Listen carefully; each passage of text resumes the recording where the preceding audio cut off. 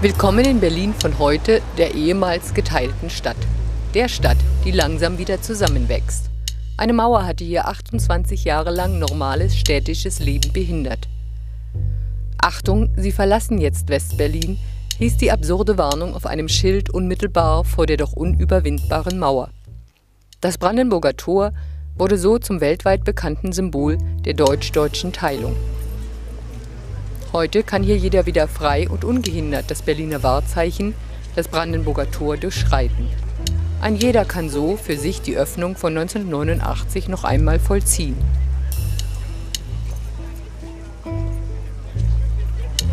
Ganz so kann man es wieder durchschreiten, wie es sein Baumeister Langhans Ende des 18. Jahrhunderts mit seiner Vision von einem offenen Tor plante und wie es die Berliner seitdem auch gerne taten. Hören Sie mit, wie sich der Morgen des 13. August 1961, der Tag des Berliner Mauerbaus, für einen Reporter an diesem Ort anfühlte. Seit etwa 1 Uhr heute Nacht rattern die Pressluftbohrer und bohren einen Graben quer durch die Ebertstraße hier am Brandenburger Tor. Der Graben ist etwa einen halben Meter tief und einen halben Meter breit. Es sind Volkspolizisten in ihrer Arbeitskleidung. Es ist eingesetzt die Feuerwehr. Es sind eingesetzt die Beamten des Amtes für Zoll- und Warenkontrolle. Und auf der anderen Seite des Brandenburger Tors stehen etwa 30 LKWs, die hier die Mannschaft Die Mauer gebaut, den Flüchtlingsstrom Tausender zu stoppen, trennte von jenem Tage an willkürlich Straßen, Häuser, ja sogar Familien. Diese Amateuraufnahmen aus den späten 70er Jahren zeigen die bewaffneten Grenzsoldaten und die immer perfekter gebaute Mauerversion. Vier Meter hohe, glatte Betonelemente, industriell in Serie gefertigt wie Kühlschränke. Jetzt wurde die glatte Mauer auf der Westseite immer öfter zum Bemalen mit politischen Parolen und Graffitis benutzt, was die Absurdität dieses Bauwerks umso deutlicher werden ließ.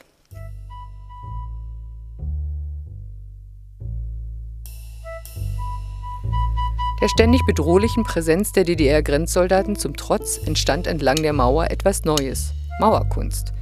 Die Perestroika in der Sowjetunion begünstigte auch in der DDR ein neues Klima, das im Herbst 1989 seinen Höhepunkt fand. Ist Checkpoint Charlie? Spurensuche und Spaziergänge entlang der ehemaligen Berliner Mauer.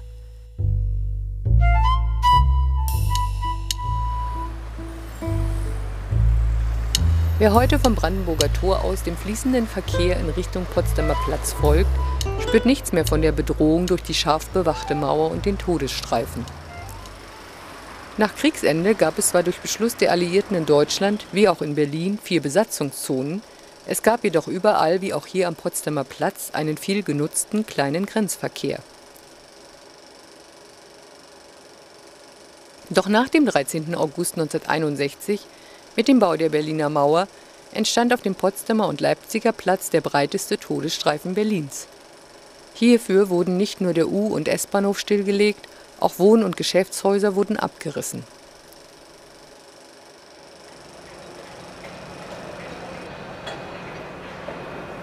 In der roten Infobox, einem kleinen architektonischen Schmuckstück, erfahren wir heute alles über die Logistik der größten Baustelle Europas, aber nichts über ihre Vergangenheit. Hier dagegen der beliebte Potsdamer Platz in den 30er Jahren mit der Normaluhr, unter der man sich gerne verabredete. Bis zur Befreiung im Mai 1945 befand sich hier noch das Machtzentrum Hitlers. Kaum vorstellbar, dass dieser belebteste europäische Verkehrsknotenpunkt der Vorkriegszeit für lange Jahre in ein mit Panzersperren bestücktes ödes Brachland in ein Vakuum verwandelt wurde. Vom Potsdamer Platz aus gelangen wir mit der U-Bahn zum Ausgangspunkt unserer Spaziergänge. Es ist der ehemalige und wohl bekannteste Grenzkontrollpunkt des Kalten Krieges, Checkpoint Charlie. Auf unserer Skizze ist der alte Übergang durch zwei weiße Balken im roten Streifen markiert.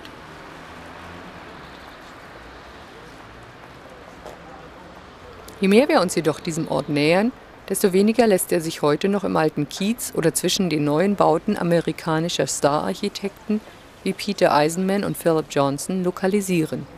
Und viele fragen, wo ist Checkpoint Charlie? Existierte er nur in den Agentenfilmen? Gab es ihn wirklich? Allein das bekannte Hinweisschild in den drei Sprachen der Alliierten scheint übrig geblieben. Und viele erzählten uns, wie dieser Holländer, von ihrer vergeblichen Suche.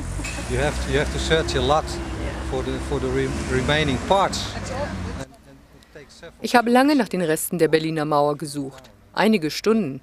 Naja, ich kann mir aber auch vorstellen, dass den Berlinern der Sinn jetzt nach etwas anderem steht. Einige versuchen Hinweise in der Mauerstraße zu finden, entdecken dann vielleicht die Skulptur von Klaas Oldenburg, aber erfahren nirgends, dass diese Mauerstraße ihren Namen von der alten Stadtmauer erhielt, die schon im 18. Jahrhundert abgetragen wurde. Hat das neue Berlin alle Spuren verschluckt? Kommen Sie mit uns auf eine spannende Erkundungstour zwischen gestern und heute.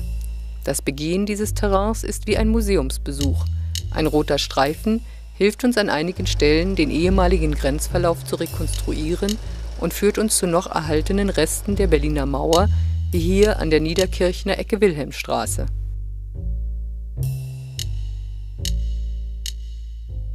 Wir folgen den Verkehrslinien zwischen Ost und West, entdecken links und rechts des früheren Mauerstreifens architektonische Besonderheiten und in den Spuren der Straßen zwischen neuen Bauten und Ruinen, Bepflasterung und Fresken bis hin zu der noch erhaltenen Mauerkunst der Kreuzberger Eastside-Galerie eröffnet sich für sie die Geschichte in der Gegenwart neu.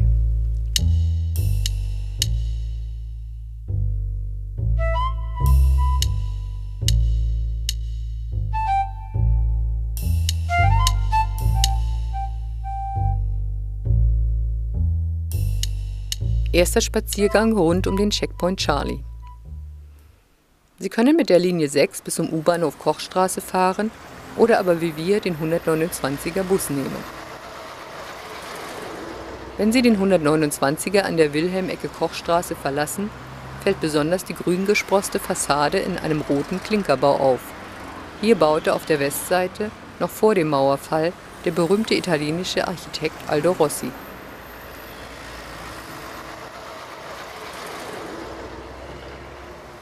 Hinweisschilder des Checkpoint Charlie Museums zeigen Ihnen den Weg zum Zentrum unserer Spaziergänge.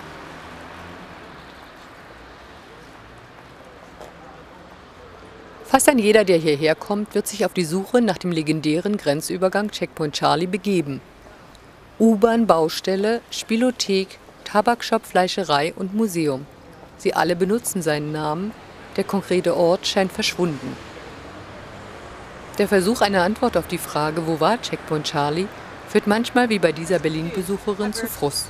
Was ist mir traurig, äh, ich habe zwei Kinder jetzt mit mir ja. und ähm, ich habe so viel über die Mauer geredet und, und jetzt ist es alles vorbei und es ist hier schwierig zu sehen, wie es war. Ja. Und manches Mal führt es sogar zu kleinen familiären Streitigkeiten.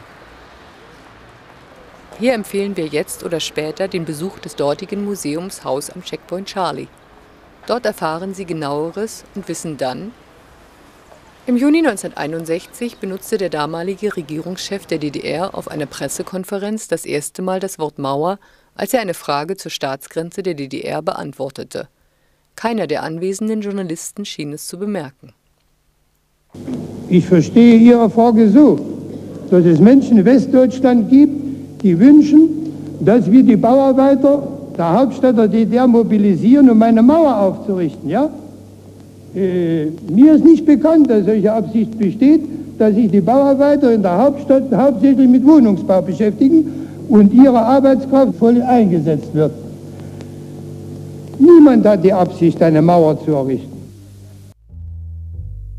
Tatsächlich dauerte es über 30 Jahre, bis sich die Bauarbeiter wieder in der ganzen Stadt dem Aufbau widmen und man wieder frei und ungehindert zwischen Ost und West gehen und fahren konnte. Nur noch das Betonfundament des späteren Schlachtbaums vom DDR-Kontrollpunkt und das Foto auf diesem Baustellenschild zeugen von der starren Konfrontation an diesem Ort. Bevor das spätere Kontrollhaus des Checkpoint Charlie in der Mitte der Straße auf der Westseite und der dahinterliegende Schlachtbaum auf der Ostseite errichtet wurden, zwangen zunächst nur Straßensperren, ohne Kontrollen, die Autos zu Slalomfahrten. Begehrlich interessierte Blicke konnte der für Militärs kontrollfreie Übergang in Ost und West damals immer auf sich ziehen. Denn ein jeder hätte ihn gern, auch ohne Kontrollen, benutzt. Die Situation spitzte sich zu, als die DDR plötzlich, entgegen der üblichen Geflogenheit, von westlichen Alliierten, wenn sie in Zivil nach Ostberlin wollten, verlangte, am Übergang einen Ausweis vorzuzeigen. Daraufhin rückten die Westalliierten am 25. Oktober mit zehn Panzern bis an den Grenzübergang vor. Danach kam es hier zur Konfrontation mit sowjetischen Panzern. Diese zogen sich jedoch am 28. Oktober wieder zurück. Vorerst gab es keine Fahrten mehr von westlichen Militärs in Zivil nach Ostberlin.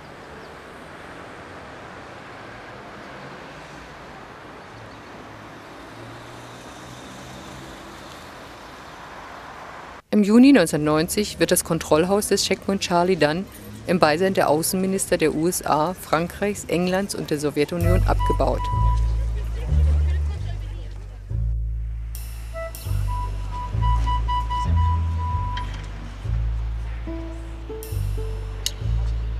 Es kann heute im neuen Alliiertenmuseum in Berlin-Dahlem besichtigt werden.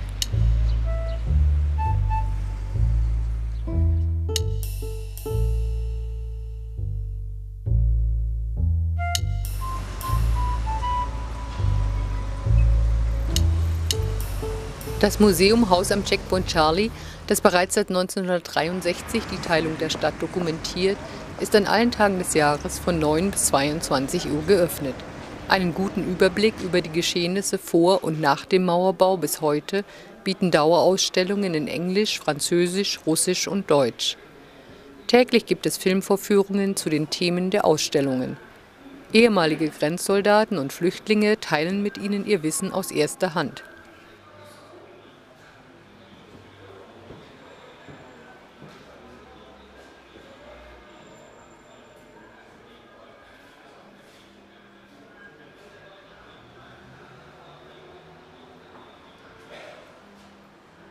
Monatelang im Geheimen umgebaute Autos, Motordrachen und Heißluftballons sind hier ausgestellt und zeigen ihnen die Kreativität und den Wagemut der Flüchtlinge.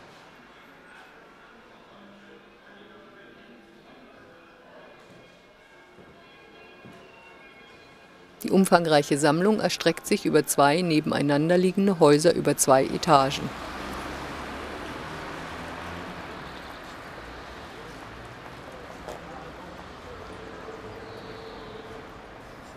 Nach dem Besuch des Museums gehen wir zurück zur Kreuzung Friedrich-Ecke-Zimmerstraße.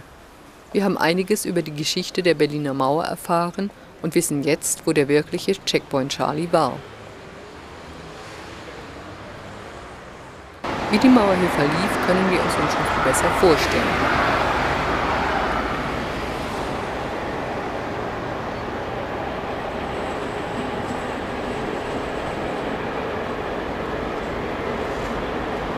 Gehen wir nach rechts von der Friedrichstraße aus in die Zimmerstraße, weisen uns schon von weitem die beiden Hochhäuser des Axel Springer Verlages den Weg.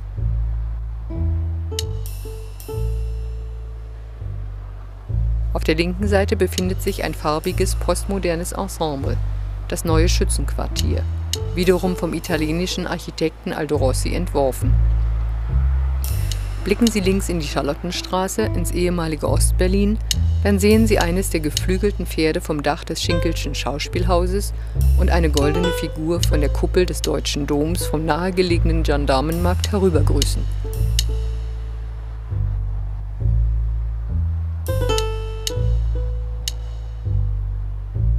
Vor kurzem ruhten hier noch die alten, durch den Mauerbau obsolet gewordenen Reste der Ost und West verbindenden Straßenbahnschienen. Das neue Schützenquartier von Rossi, schon nach der Maueröffnung gebaut, zeugt vom rasanten Wandlungsprozess, den diese Gegend im Osten wie im Westen entlang der ehemaligen Mauer zurzeit erlebt.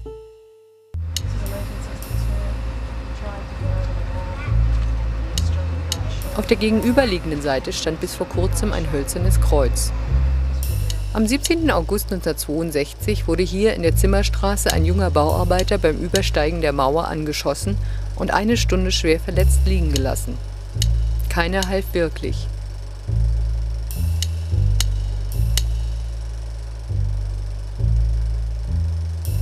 Erst nachdem er verblutet war, wird seine Leiche von DDR-Grenzsoldaten geholt.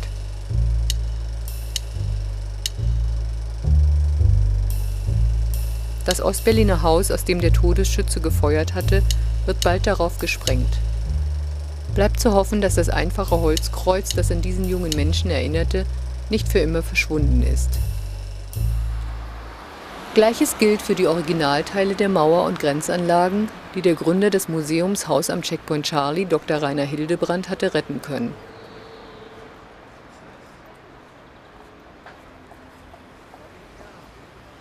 Hoffentlich wird der Plan, sie vor dem Neubau eines Geschäftshauses an der Friedrich-Ecke-Zimmerstraße wieder auszustellen, realisiert.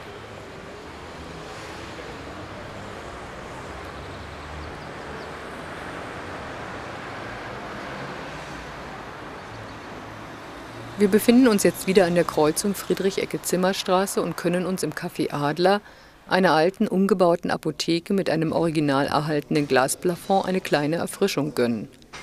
Aus dem Fenster erblicken wir das wunderschöne Fries an dem nahegelegenen Verlagshaus der Neuen Zeit.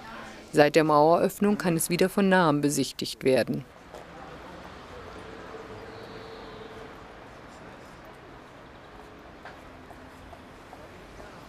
Wir folgen jetzt der Zimmerstraße nach links. Hier markierte im Februar 97 der regierende Bürgermeister von Berlin persönlich mit einem roten Strich den ehemaligen Mauerverlauf.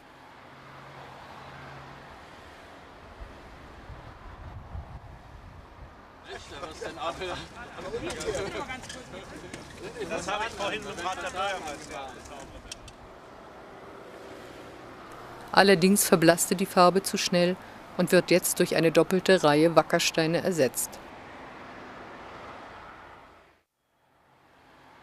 Auch in der heutigen Wilhelmstraße ist es schwer, die jüngst angebrachten Infotafeln zu finden, auf der Sie sich über die Geschichte des angrenzenden Prinz-Albrecht-Geländes informieren können.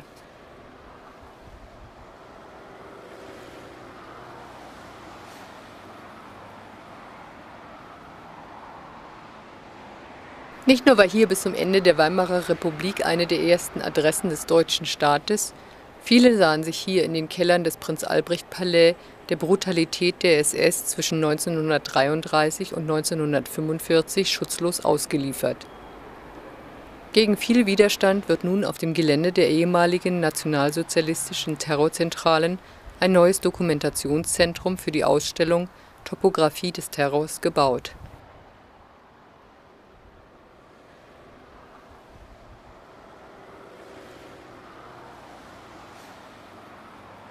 Die Mauer verlief hier quer über die Wilhelmstraße, zu sehen an diesem Foto, aufgenommen von der Westseite her. Ein mehr schlecht als recht durch einen ehemaligen DDR-Zaun geschützter Mauerrest ist hier noch zu sehen. Dieser Zaun bereitet vielen heute immer noch ungute Gefühle. Ein anderer Schutz wäre wünschenswert und wohl auch angebrachter.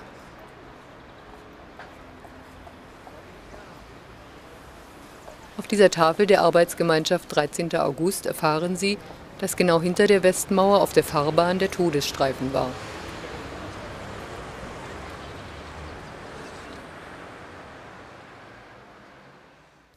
Das ehemalige Göringsche Luftfahrtministerium lag auf der Ostseite der Mauer, der nach seinem Baumeister Martin Gropius benannte Ausstellungsbau auf der Westseite.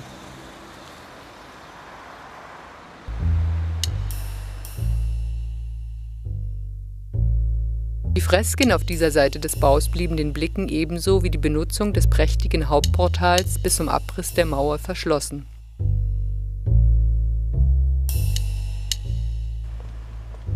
Ein davor in den Straßenasphalt eingelegter Kupferstreifen mit den Jahreszahlen der Berliner Mauer nennt uns den Grund dafür. Hier, Berliner Mauer 61, 89.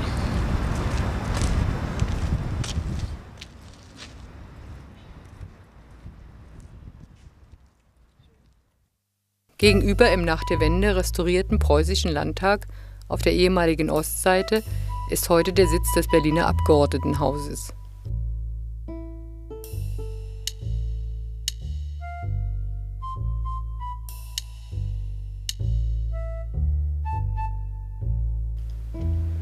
Wir laufen weiter zur Stresemannstraße und sehen auf der anderen Seite den Neubau der iranischen Architektin Zaha Hadid, der viele an ein großes Schiff denken lässt.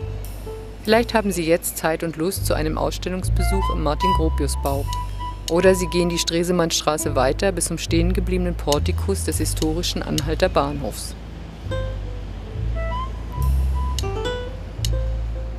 Auf dieser Infotafel können Sie etwas über die nähere Kreuzberger Umgebung erfahren. Sie können dann mit der S-Bahn fahren oder zu Fuß die Stresemannstraße in Richtung Potsdamer Platz zurücklaufen. Wenn Sie sich über die zahlreichen Bauprojekte informieren wollen, besuchen Sie die rote Infobox.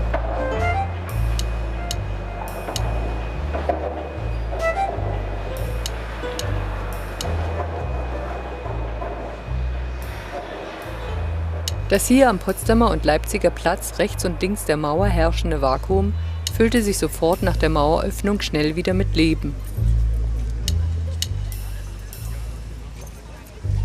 Die Menschen, die hier kreuz und quer über den Platz laufen, scheinen nichts mehr von seiner jüngsten Geschichte zu ahnen. Weder etwas vom niedergeschossenen Aufstand in der DDR, noch, dass ihnen hier später eine Mauer plötzlich ihren Weg versperrt hätte.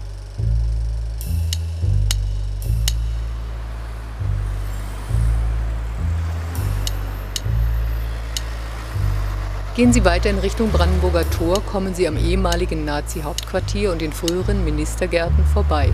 Auch hier wieder auf der Ostseite der Mauer eine öde Brachlandschaft, wartend auf das Neue.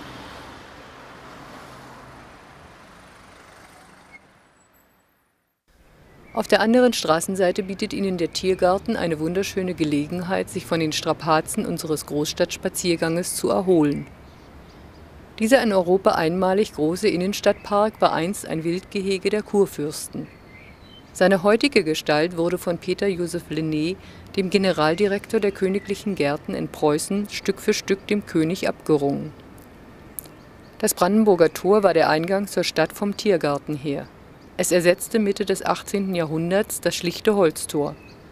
Von den 14 Stadttoren gibt es heute nur noch das Brandenburger Tor. Vorbild für das heutige Tor von Karl Gotthard Langhans waren die Athener Propyläen. Gekrönt ist es mit der Quadriga von Schadow, einem in Kupfer getriebenen Viergespann mit der hoch oben stehenden Friedensgöttin Victoria.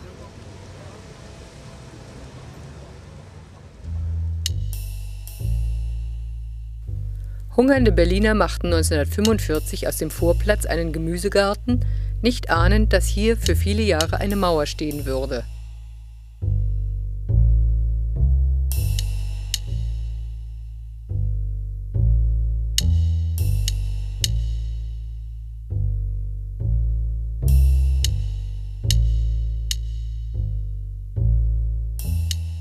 Die Luftaufnahme zeigt deutlich den Mauerverlauf vor dem Brandenburger Tor und auf der Ostseite die Trostlosigkeit des zur Brache verkommenen Pariser Platzes, den die Berliner bis zur Maueröffnung nicht mehr betreten durften.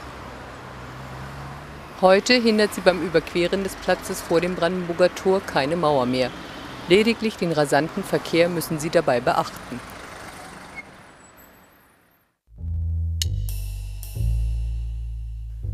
Auf ihrem Weg kommen sie an einer Gedenkstätte mit weißen Kreuzen vorbei.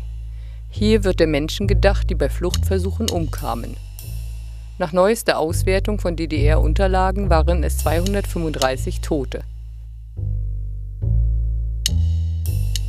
Die beiden letzten Toten waren der 32-jährige Winfried Freudenberg, der im März 1989 mit einem selbstgebastelten Ballon über Westberlin abstürzte, und der 20-jährige Chris Geffroy, der kurz vorher im Februar bei seinem Fluchtversuch erschossen wurde. Sofort nach Bekanntwerden der Maueröffnung, noch in der Nacht vom 9. zum 10. November, kamen die Menschen voll Freude hierher. Das Wissen um die tödliche Gefahr hinderte sie nicht, auf die immer noch scharf bewachte Mauer zu klettern, denn erst Weihnachten 1989 wurde das Brandenburger Tor wieder für alle geöffnet.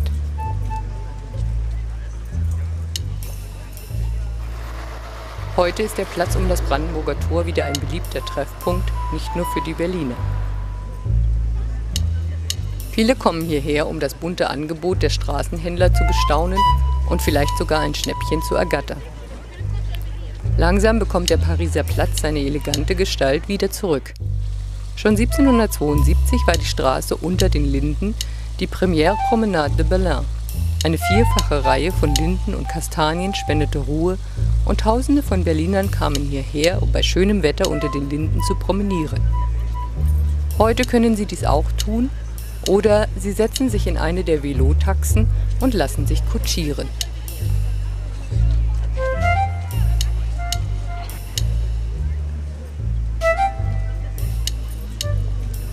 Danach flanieren sie zur Friedrichstraße.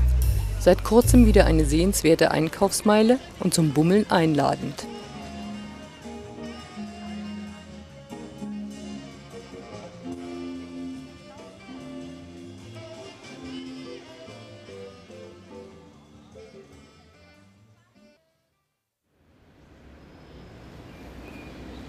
Folgen Sie wieder der Zimmerstraße in Richtung der beiden Hochhäuser.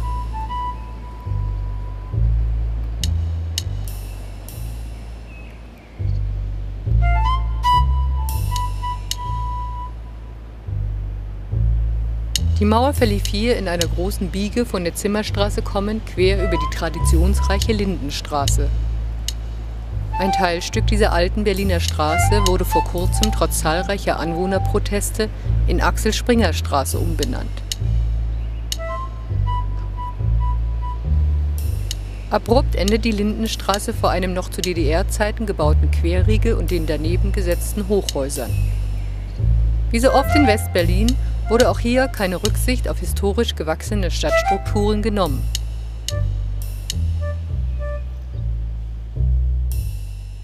Zu Fuß können Sie zum ältesten Stadtteil Berlins, zum nahegelegenen Nikolaiviertel laufen oder vom U-Bahnhof Spittelmarkt aus einen Abstecher in die alte und neue Mitte Berlins machen. Oder sich etwas auf der gegenüberliegenden Straßenseite am Spindlerbrunnen erholen.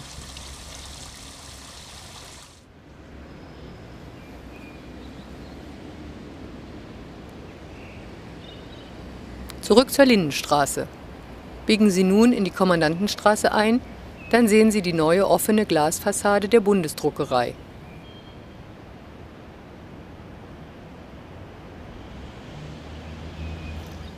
Auch in der alten Jakobstraße gibt es einige bemerkenswerte Gebäude, die erst nach dem Mauerfall errichtet wurden.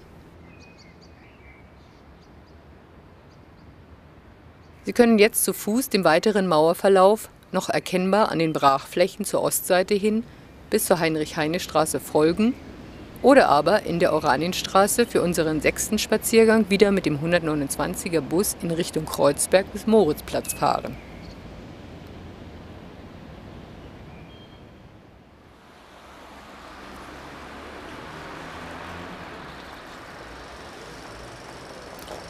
Auch hier beendete die Mauer urbanes Leben.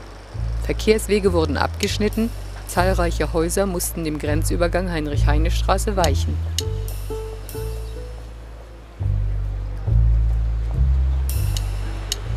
In die Sebastianstraße laufen sie jetzt rechts hinein. Die Mauer war auch hier wie so oft fast bis an den Rand des Bürgersteiges gebaut. Die Mauer verlief dann weiter in die Waldemarstraße am Engelbecken vorbei in Richtung Spree, dem Betaniendamm folgend. Hier ist das noch erhaltene Engelbecken deutlich zu erkennen. Anfangs sollten Sichtblenden die Kontaktaufnahme der Menschen verhindern. Später wurde es unter Bauschutt begraben, um einen besser kontrollierbaren Todesstreifen anzulegen. Auch in diesem Mauerabschnitt gab es Fluchtversuche und Tote. Den Toten wurde vor dem Eckhaus an der Waldemarstraße eine kleine private Gedenkstätte errichtet.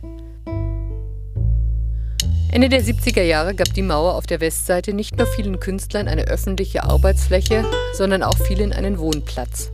Sie nutzten einen Streifen Gelände der DDR, die die Mauer oft fünf Meter zurückversetzt gebaut hatte. Für die Menschen, die in diesen Bauwagen lebten und Wagenburgler genannt werden, war der Abbau der Mauer wie das Verschwinden einer ihrer Wohnzimmerwände.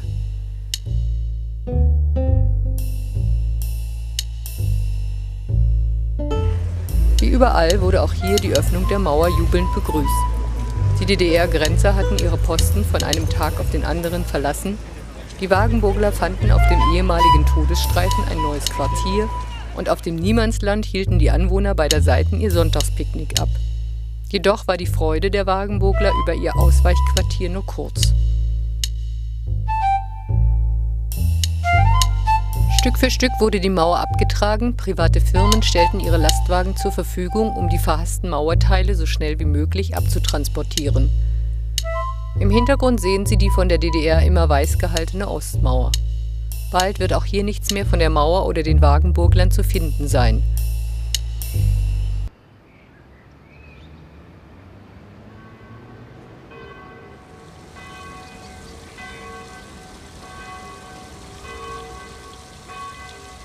Das Engelbecken mit dem alten indischen Brunnen ist schon restauriert und das umliegende Brachland wurde für den Standort Berlin-Mitte schnell zum lukrativen Baugrund.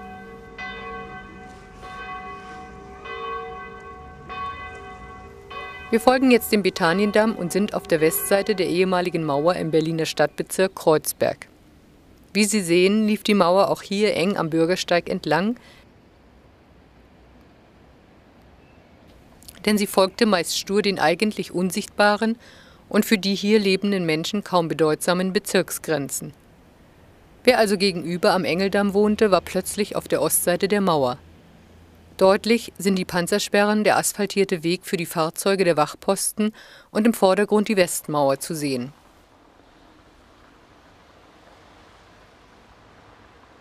An einigen Asphaltstellen im Kopfsteinpflaster des Engeldamms ist der Mauerverlauf hier noch erkennbar.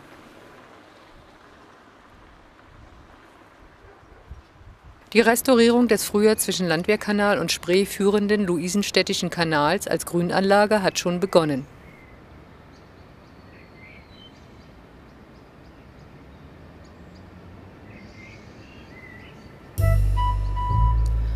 Auch hier hatte sich ähnlich wie mit den Wagenburglern in der Waldemarstraße eine westliche Subkultur angesiedelt. Angefangen vom fröhlichen Treiben auf einem Kinderbauernhof und in einer britischen Gauklerkolonie bis hin zu einem türkischen Gemüsegarten und dem Georg von Rauch Haus für jugendliche Drehbegänger konnte alles am Fuße der Thomaskirche neben der Mauer gedeihen, ja ihre Ära überdauern.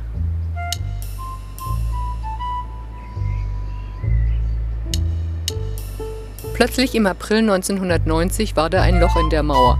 Keiner wusste, wie es entstanden war. Hier wurde auch nicht mehr wie an anderen Stellen noch kontrolliert. Die Mauerspechte leisteten Tag und Nacht gründliche Arbeit.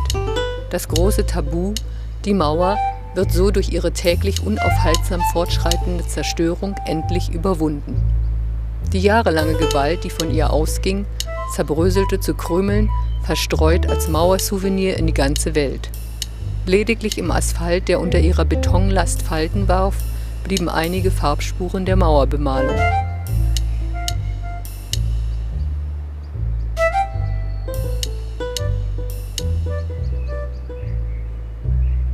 Aber auch hier wurden die Spuren zu schnell beseitigt.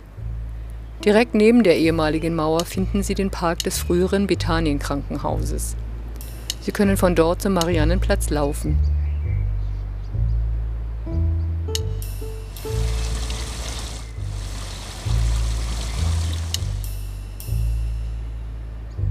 Ein Besuch des heutigen Hauses für zeitgenössische Kunst lohnt sich auf jeden Fall. Dann gehen Sie zurück zur erst kürzlich restaurierten Thomaskirche.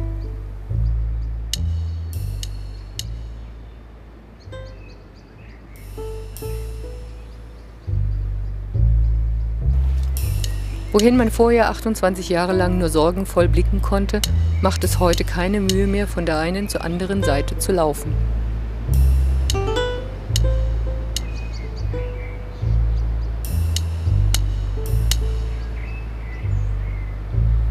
Nur die alten Brunnenbecken und die Laternen, im Volksmund Russenlaternen genannt, sind stumme Zeugen vergangener Zeit.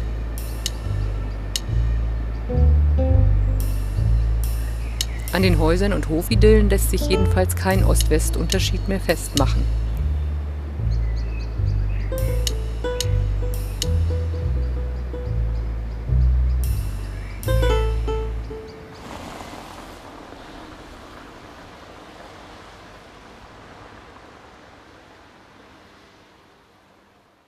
Hier die Mauer aus der Ostperspektive.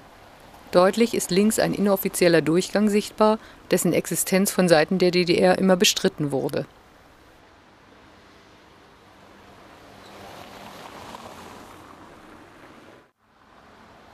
Die Köpenicker Straße endete direkt an der Mauer. Die bis 1961 üblichen Verkehrswege wurden auch hier durch den Mauerbau unterbrochen.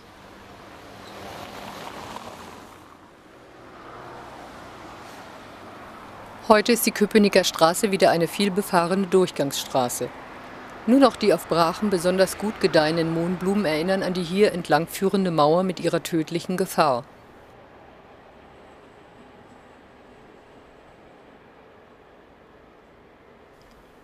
Von der nach der Wende wiederhergestellten Schillingbrücke blicken wir zur Oberbaumbrücke, auf der am 10. November 1989 ununterbrochen Tausende nach Westberlin strömten.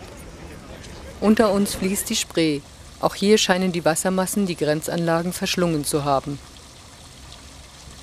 Hinter der Schillingbrücke biegen wir rechts in die Straße gegenüber dem heutigen Ostbahnhof, der, als Ostberlin noch Hauptstadt der DDR hieß, Hauptbahnhof genannt wurde. Bis 1989 durften sich normale DDR-Bürger auf dieser Straßenseite der Mauer nicht aufhalten. Nicht nur deshalb war sie frei von Graffitis. Erst im November 1990 wurde die Eastside Gallery von einem schottischen Künstler ins Leben gerufen. 118 Künstler aus 21 Ländern, wie zum Beispiel Thierry Noir, gestalteten die eineinhalb Kilometer.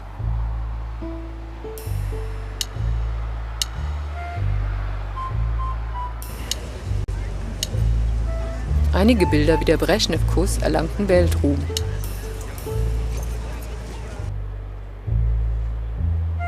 Eigentlich steht die Mauer seit November 1991 unter Denkmalschutz. Trotzdem ist das Ganze hier dem allmählichen Verfall preisgegeben, da die Frage, wer die umfangreichen Instandhaltungskosten trägt, noch nicht geklärt ist.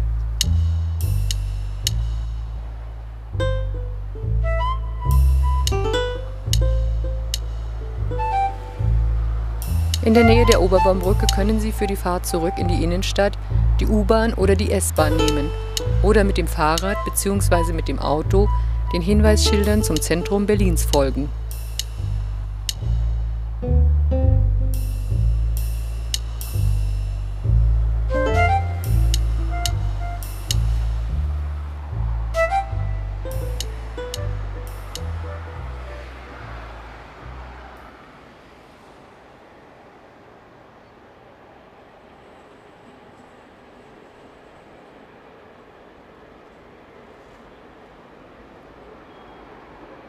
Wo ist Checkpoint Charlie? Den Ort haben wir gefunden. Wo aber ist das berühmte Kontrollhaus?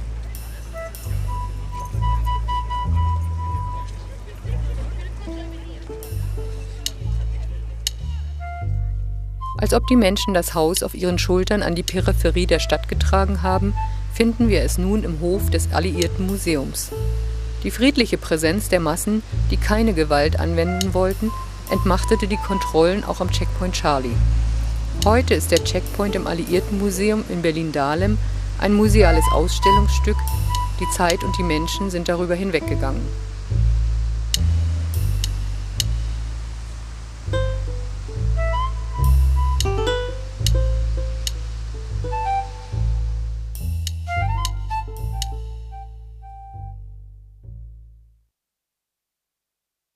Anhand von Originaldokumenten, die teilweise aus dem Archiv des Museums sind, umreißen wir kurz die geschichtliche Situation Berlins seit 1945. Zwar bildeten die vier Alliierten nach Kriegsende in Deutschland und Berlin Besatzungszonen, das Potsdamer Abkommen von 1945 gewährte jedoch allen Deutschen gewisse demokratische Rechte und Freizügigkeiten. Man konnte, wie diese historischen Aufnahmen vom Potsdamer Platz zeigen, einfach von West nach Ost und umgekehrt gelangen, von gelegentlichen Kontrollen abgesehen. Am 17. Juni 1953 kam es zu einem ersten Aufstand in der DDR.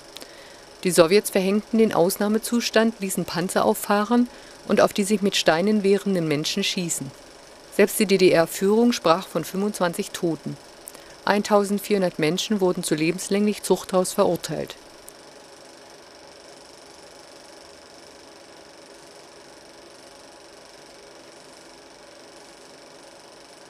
Der politische Druck der DDR-Führung nahm immer mehr zu und die wirtschaftliche Lage besserte sich für die meisten auch nicht. Täglich kamen mehr Menschen zu Fuß und mit den öffentlichen Verkehrsmitteln, um im Westen zu bleiben –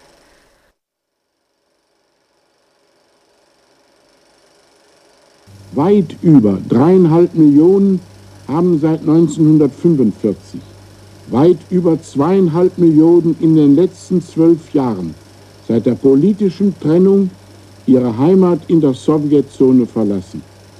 Sie tun das, was nicht genug hervorgehoben werden kann, unter Zurücklassung von Hab und Gut. Was hatte Walter Ulbricht noch im Juni 61 gesagt? Niemand hat die Absicht, eine Mauer zu errichten. Trotzdem gab es für die Berliner am 13. August ein böses Erwachen. Schon in der Nacht waren am Brandenburger Tor Schützenpanzerwagen und Wasserwerfer bis unmittelbar an die westliche Sektorengrenze vorgerückt und unter diesem Schutz markierten die DDR-Soldaten den späteren Mauerverlauf.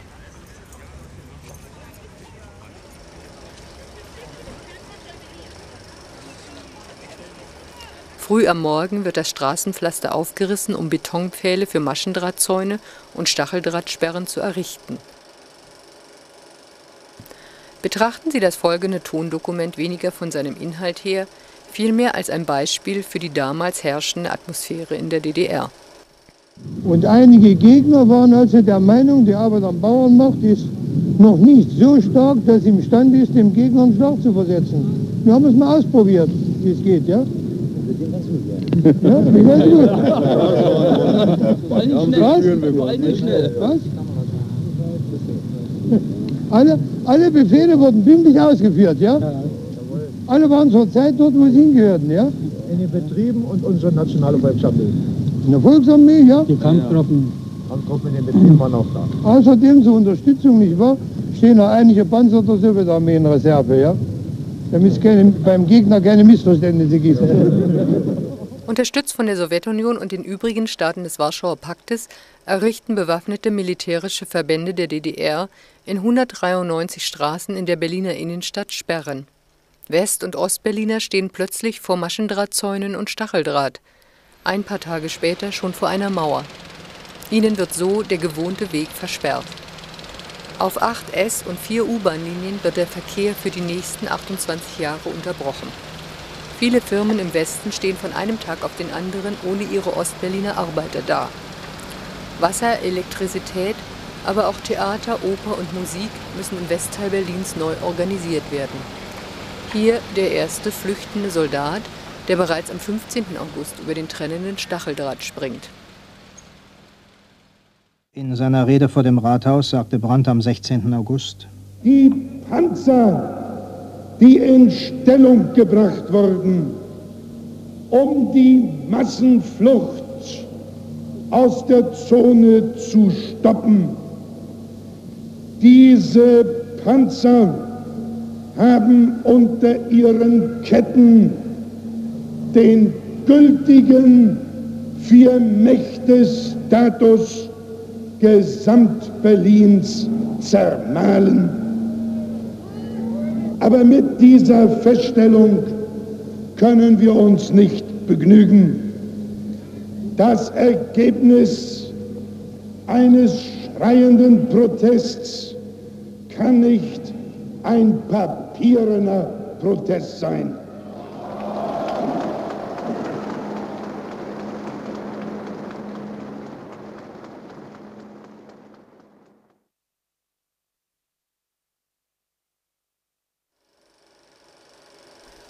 Jedoch aller Protest war vergeblich. Schon wenige Tage nach dem 13. August wird mit dem Bau einer Steinmauer begonnen. Viele versuchten dem, wie hier in der Bernauer Straße, zu entkommen. Für einige endete dies tödlich, einige waren erfolgreich. Als das Zumauern zuerst der unteren, später auch der oberen Fenster zum Westen hin nichts half, werden die Häuser einfach abgerissen. Die stehen gebliebenen Fassadenteile bildeten nun die Mauer. Deutlich sichtbar die so entstandene Brache mit Panzersperren und Wachturm. Selbst in den Gewässern werden Todesfallen installiert. Immer wieder versuchen Menschen zu flüchten.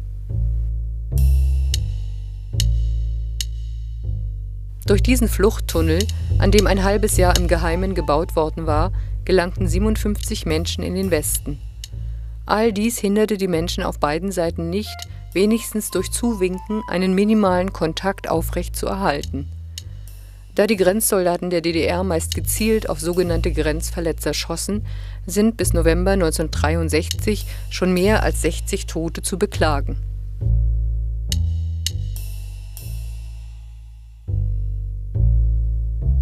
Jubelnd und voll Hoffnung wird der damalige Präsident der USA, John F. Kennedy, 1963 von den Westberlinern empfangen.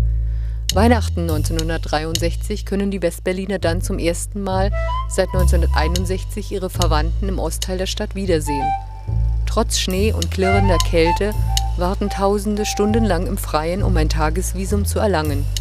Innerhalb von 18 Tagen gibt es 1,2 Millionen Besucher. Bis 1966 erleben wir drei weitere solcher Abkommen. Der Kalte Krieg scheint von einer Tauwetterperiode abgelöst zu sein.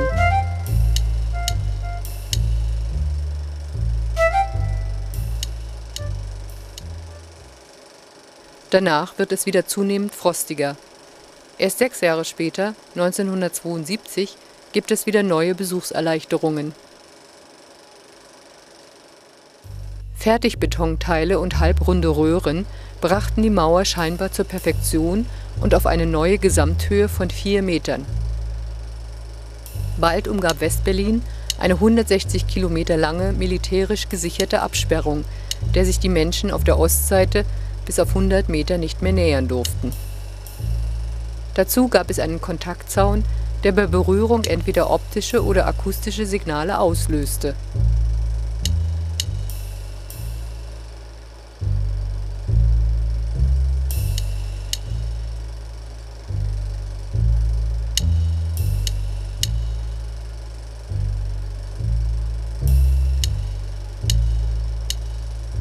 Auf einem Gelände von über 45.000 Quadratmetern wurden rings um Westberlin Häuser wie zum Beispiel hier an der Bernauer Straße abgerissen, Grünanlagen wie das uns schon bekannte historische Engelbecken zerstört, um zur besseren Kontrolle einen zum Teil mehr als 10 Meter breiten Todesstreifen anzulegen.